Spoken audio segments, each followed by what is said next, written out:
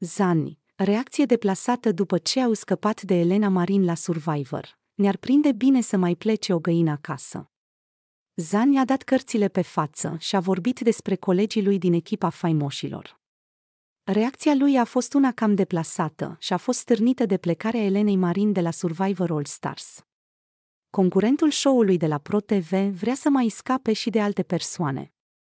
Elena Marin a părăsit Survivor All Stars, în urma unui duel eliminatoriu pe care l-a avut cu George.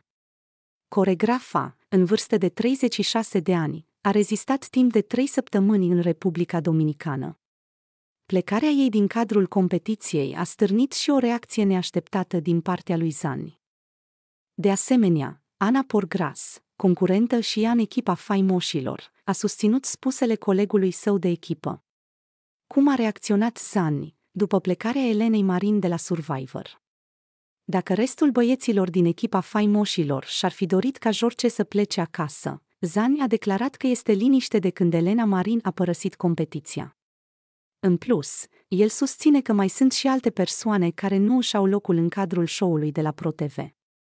A fost o furtună savuroasă. De ce? Uite ce liniște e, acum, în camp și nu e o liniște de complezență.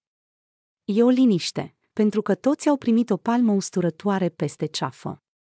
Dacă vor alții să facă strategii, ordine și disciplină, n-am nicio problemă să îi las să o facă. Mai avem și în echipă niște găini care nu mă fac să cred că, domnule, câștigăm. Dacă e să câștigăm, mă bucur atât de tare, că mi se pare surprinzător. Dacă nu, stau în banca mea. Ne-ar prinde bine să mai plece o găină acasă. De ce? Împărțim și noi proviziile alea între mai puțini oameni, dormim mai bine în baracă. E greu să-i tragi pe toți după tine. A spus Sani. Ana Porgras i-a dat dreptate colegului ei de echipă și a mărturisit că acum au rămas în competiția Survivor All Stars doar cele mai bune fete. În punctul ăsta, cred că o să fie un avantaj pentru noi că am rămas doar eu și Ștefi. Cred că am rămas cele mai bune fete din echipa faimoșilor, fără lipsă de modestie. A spus Ana Porgras. Elena Marin, nu e plăcut. Elena Marin se simte mândră de tot ce a realizat în competiția Survivor România, mai ales că după prima participare a suferit două operații. Chiar dacă își dorea să mai rămână în Republica Dominicană, a plecat acasă cu inima împăcată că a dat tot ce avea mai bun pe traseu. Nu e plăcut, dar cred că nimic nu este întâmplător. Am dat tot ce am putut, am avut emoții, am încercat să nimeresc, mi-am dat seama că nu este o bilă foarte grea și am încercat să țintesc primele. Nu a fost să fie. Sunt mândră de mine.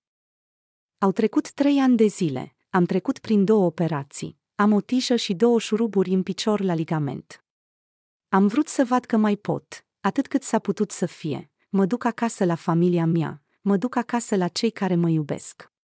Cred că locul meu este acasă, a spus Elena Marin.